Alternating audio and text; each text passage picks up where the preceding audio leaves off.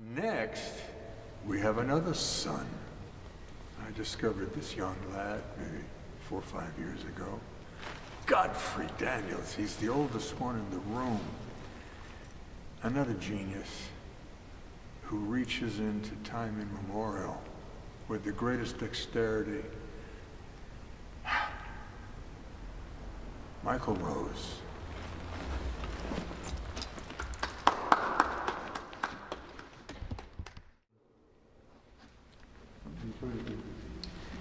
All right. Uh, here is a poem. Uh, a poem with no title. The tilted fan is quiet, where the clothes pile, heap like bales. Yes, the crooked fan, he sleeps. Today, I myself have slept long. At two, the ears now zing and chime. A plane buzzes, a bee's body bristle bristles. Buddha sits adrift eternally upon my desk. The clutter here clutters, but Buddha just sits there upon the desk. Visions and pictographs waft onto the earth, bathing in the slanted sun. The lake gleams, rustles, and dances like the windy leaves of a red maple tree. A matrix of symbols is falling here. The Buddha, he sits so still and wooden. The car zoom zooms. Does it really zaza zoom? Does the bee really buzz bristle? Does the movement really happen? Or is everything just still like the Buddha, the one who sits? The hair, like a universe, limbs pointed to the sky, hand cooing to the moon, this cool resting spoon. Is changing just another form of changelessness happening? Mm-hmm. For we see a drifting world sift and drift. Is that perhaps not like our believing a still carving of Buddha is anything more than just a still thing? Perhaps that stillness is far more still, far, far more still. Perhaps the stillness of this statue means to whisper to us. Neither movement nor Buddha, nor I nor you ever was or ever has been. The tilted fan is quiet, where the clothes pile, heap like bales. Yes, the crooked fan he sleeps. and this poem repeats, repeats, repeats. I, uh, that's fabulous. That's, uh, that's just, as beneficial as repetition is, that was unintentional. All right. so he says. the oracle himself. Oh, yes, yes, yes. That's nice. Okay. Um, this is a, is a love poem for my wife. In the midst of the waters, I remember when the word was made, dripping from the light and catching upon the lips of God like a wine and running down the chin.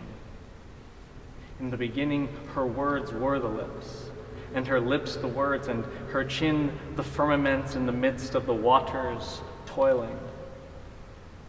Then the daughter sang and broke from the chest, and this a darkly mist, a mist that crackled like thunder and lightning and beamed blue and blush. I was a mountain awaiting the gospel of her neck, an angel sound with sonnets. She wanted the bones of my breath to give the body of her simpering light. I still remember your whispering eyes and the breath that begged a kiss. It took me years to give it, but your body beckoned and beckoned and stood poised with life. For you were in the light and with the light, and you were the light. Your skin billowing like willow branches, coiling bark calling savannas with the dews of night twisting. One evening upon your porch, One evening upon your porch, you stood like raindrops in the moon, I drank from your thighs like a Moor. I fantasized for this earth to climb your waist and to find the light inside. Now, in the moon of the early morn, I see your clouds drifting past in a mist not different from the roiling beginning, where your words laid, baited, and sailed like the song of a ribcage smiling. A singing river of words reminds me of your voice and settles in the shores and brushes of memory. It tills the memory and drinks from the soil, for it pines in the daytime for the body of you. Mm.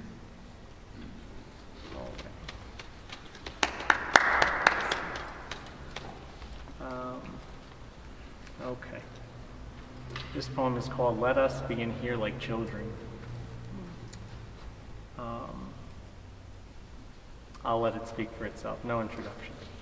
Let us begin here like children.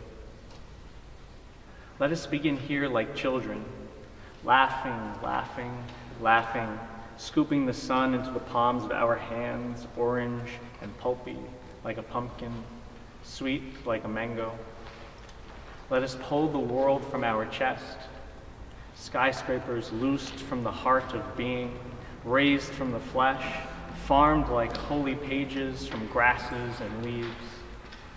Let us find the palmyra stump, sleep in the scriptures of the Rita, till the tillless firth, comb the lapping sea, lavish and happy.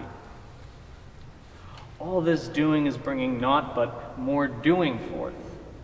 Writing, bringing writing, thinking, bringing thinking, dukkha, pain, bringing dukkha, more dukkha, more dukkha, more hate. Where is samadhi? Where the golden boy? Where the crying sun? The blinding heart? The thunderous laugh of Zeus? Where is Artemis? Where, where my dropping heart, raised and vanquished, lit, then relinquished? Here now, return your hands to the orange pulp the flying heart lifting, the world tall and quaint and fertile upon two shoulders, songs then leaping from the buildings in the bounding yellow cities. We are Atlas cackling, Poseidon smiling, Atlantis dreaming. Yes, scoop again now the orange world. The child we once were smiling, once light as the day, once soft as the garden's soil. Yes, scoop again now the orange world, wet and slipping, dripping and free. Yes, scoop again now a different world, one laughing and mountainous and free. Quickly, I tell you, we both, you and I, will sink like lures down and down into the ocean or the lake colder, colder it will get. Thicker and thicker and sadder it will get.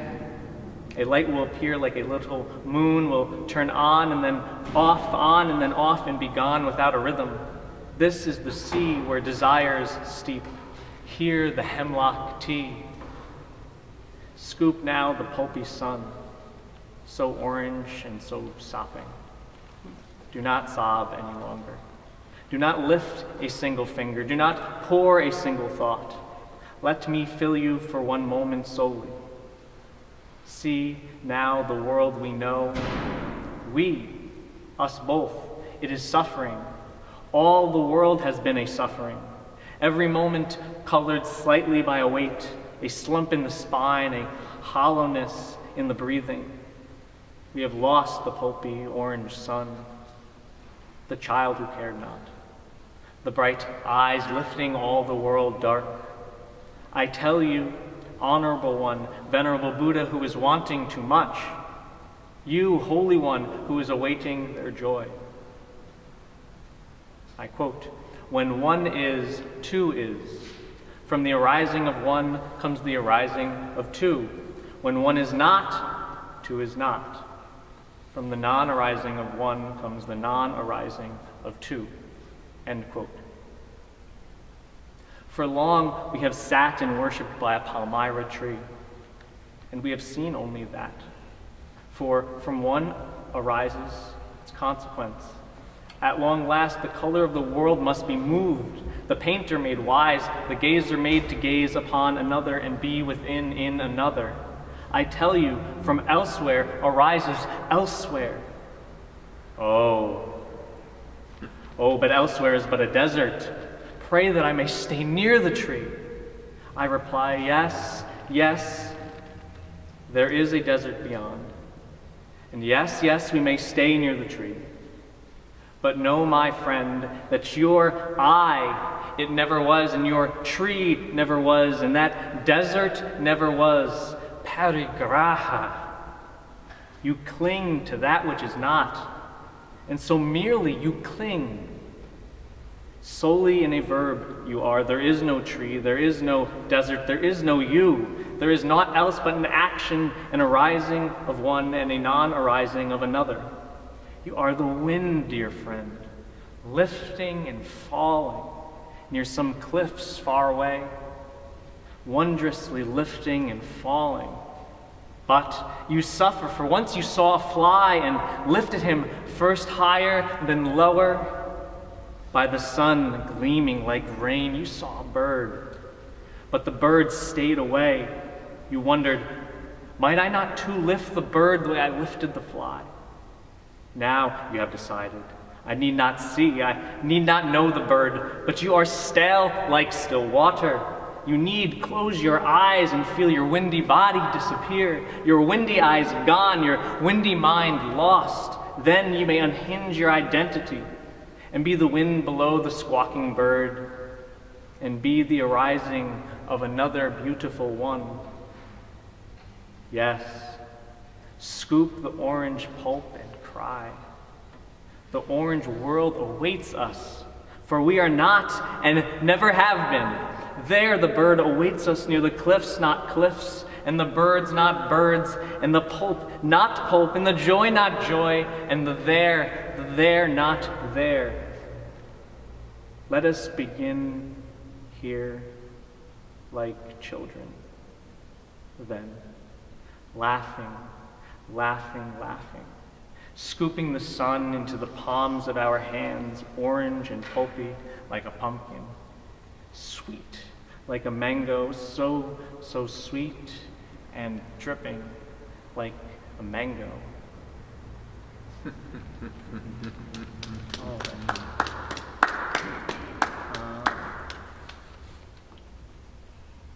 oh, I think that's a fine spot to stop. I don't need to read anything. How do you follow that? that was magnificent.